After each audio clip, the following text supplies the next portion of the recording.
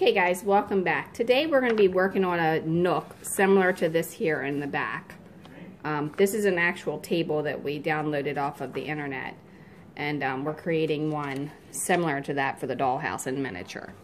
Now what we've done first is we've cut four of these sides out and then one for the back and one for the bottom and all of the measurements and everything will be on the template when I place it on the website. We glued them to there one across and one down. And then now we're going to be moving on to the next part. One in the back is at a slight angle. Yeah, if you look right there, just barely an angle. Because this wood is on an angle. Okay, you're going to need, need to do two of those because when we put it together with the rest of it, it's going to go into an L shape.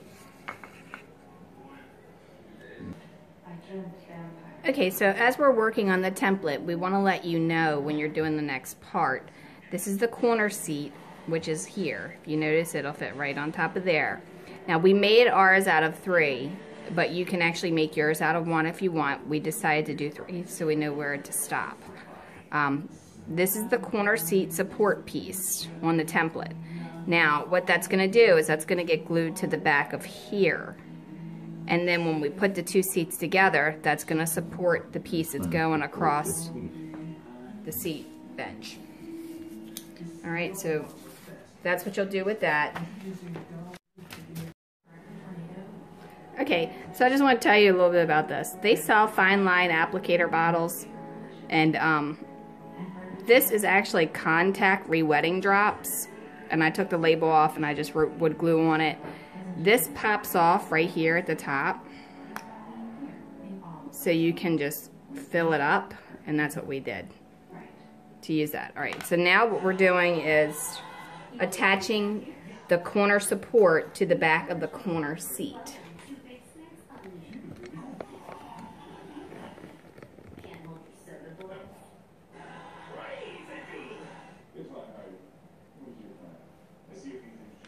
you notice it comes out pretty thin, so it's a lot easier than using the stick.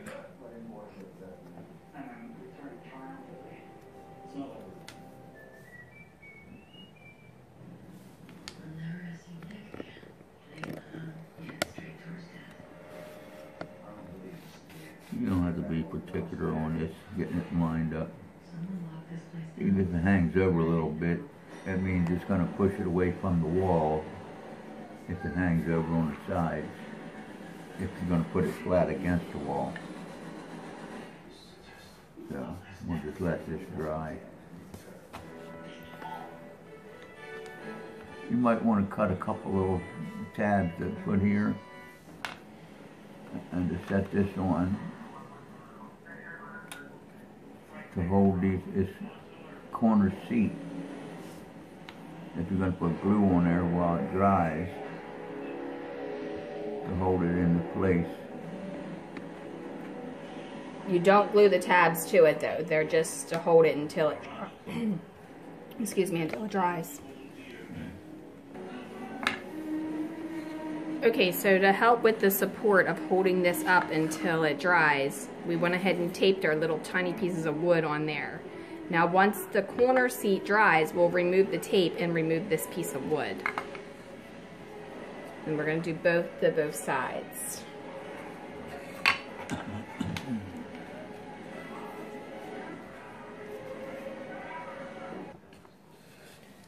All right, so that the glue does not stick to this, we took a piece of masking tape and we cut it in half and we're just applying it on top of that little piece of wood.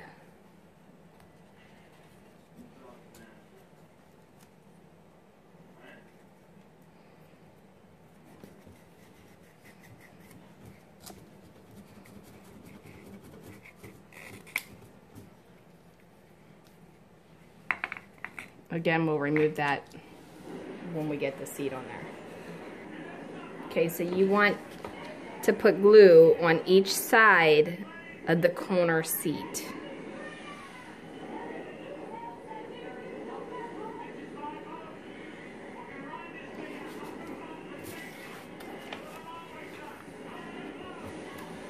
Being an end grain like this, it sucks that glue right in.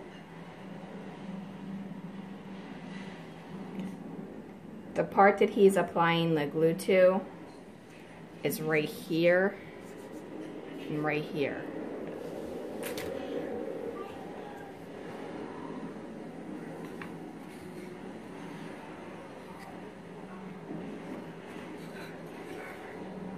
Make sure you're working on a level surface when you're doing this, otherwise it's not going to turn out, it's going to be crooked.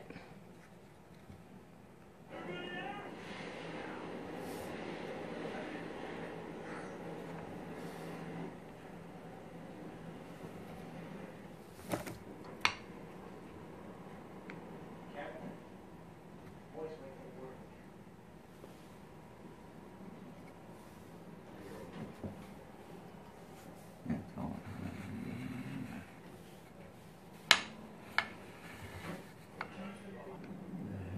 Okay, so once you have that on there, you're gonna let that dry and make sure it's good and dry before you do anything else. And these parts will go. And then we'll attach the back seat next, once it's dry. Okay, so we glued that piece there on the back side of that, and then next we're gonna be gluing this piece on the back side of here. Okay, so now that we have this piece here, we're gonna attach this piece here. We're applying some glue. And then you're gonna have a space in between here, so don't worry about that because there's shelf that goes on top. And and it'll be covered so you don't see it.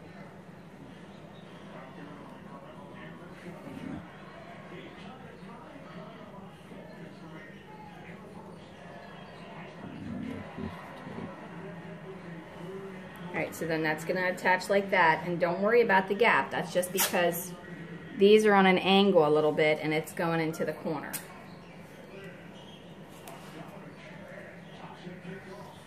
Now we're just gonna put a piece of masking tape across the back of it to help hold it so until it dries. Alright, so once you get that taped on there, just remove the excess glue. That way you're not having it splattered out on there. And when you go to sand it, if you're going to sand it, I would sand it before you put it together. And if you have any glue spots, sand it off with a very fine grit sandpaper. Wait a minute. Alright, I cut the piece the same height as these with a 45 on these two edges and a slight angle on the bottom, a slight angle on the top, and it'll glue right into here. So, uh, it'll glue right into here like that, and then I'll cut whatever it needs to be for a shelf on the top here. If you can see that. Here is the angle. Yeah, it's a 45. And you need it to be on a 45 so that it fits right into that corner. And then the bottom, he It's just slight slightly bend. beveled, which you can sand it to get that. Yeah. There you go. All right, just setting in there now, and we're getting ready to glue this piece in. That we cut the 45s on all three, the left and right, and on the uh, bottom, so it doesn't have a gap underneath of it. And you can put a little bevel on top too, but it, you don't necessary because you're gonna put a shelf over it. But that's the way it's gonna set in there, like that. And then we'll glue it. Now you're gonna apply the glue to the 45s that's meeting on there and across the bottom. Yeah.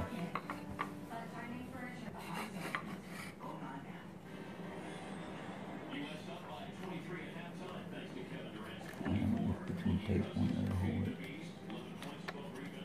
Okay, so once you have it there, you'll wanna put a piece of tape to hold it in place until it dries.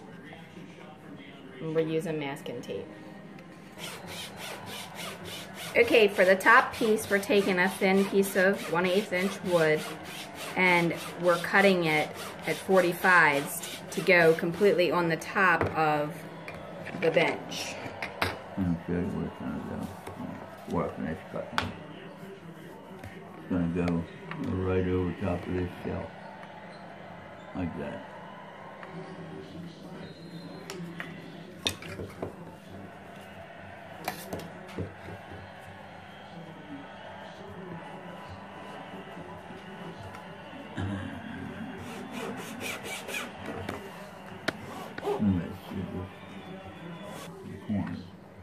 Okay, so you should come up with a triangle like this. However, we want to put trim around the top part of this. So we're going to cut the corners off and notch them out using the miter saw. I'm marking this now so I know where to, where the corners off at.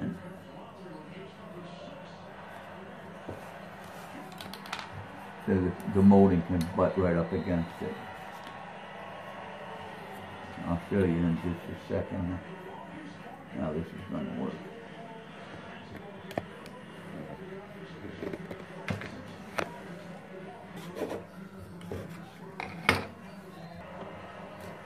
Okay, so this is what we've gotten so far.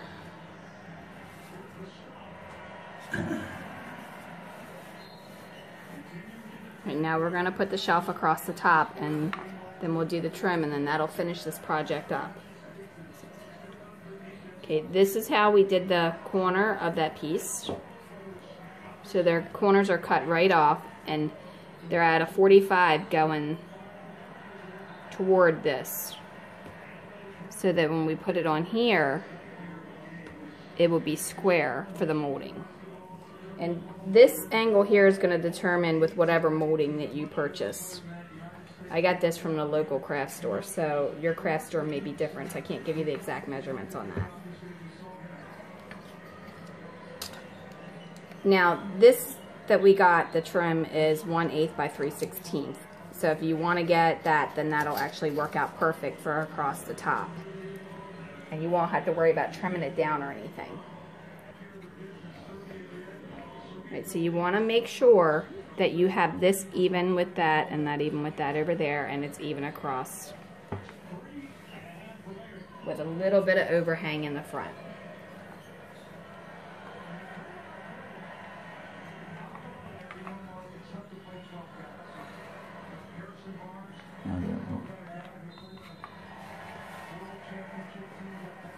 Okay, so it should look like that on the back when you have it glued.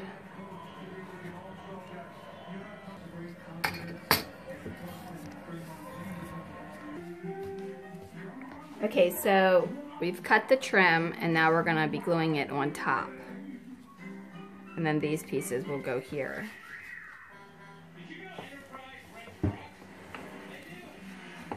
Apply the glue, try not to put too much to where it comes out because otherwise it'll leak down on your project.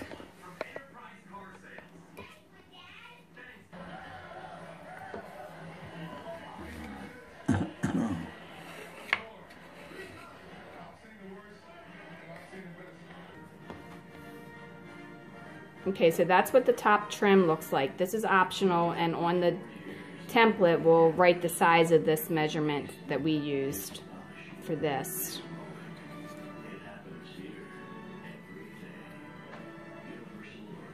That's what we've got done so far.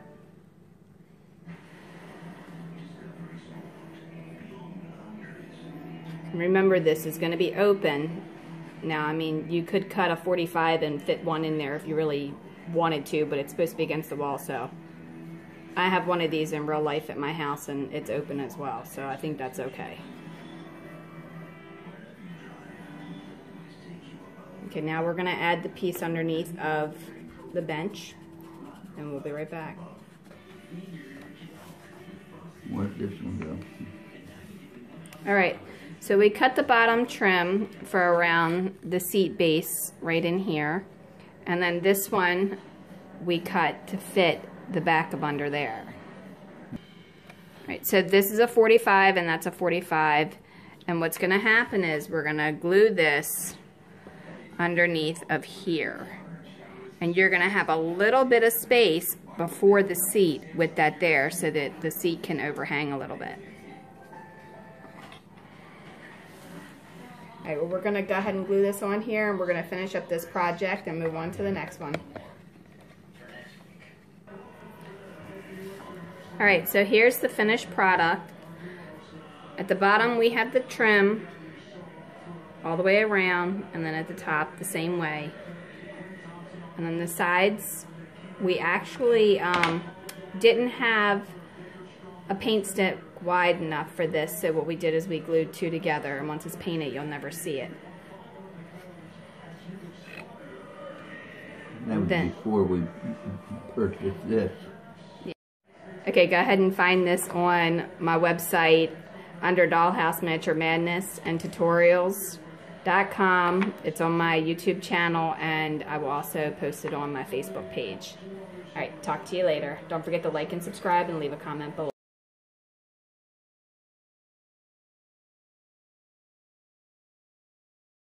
Uh, this picture was from a furniture store on the internet, and I thought it looked kind of neat, so I sort of mimicked their design. These uh, decorations in the back, it's optional what you can put on here and around it if you care to do so. You could probably use balsa wood and trim it around like that. Balsa wood comes in different thicknesses. You can get it as thin as a sheet of paper, so it's really easy to carve out. So go ahead and um, check that out. If you want to add that to your details, you can. That's totally up to you. If you do decide to do that though, you will need to recess this back as thick as your balsa wood and move everything back a little bit, which you do have enough room in the back to do that. But um, we decided not to go ahead and do that. We decided to keep it flat.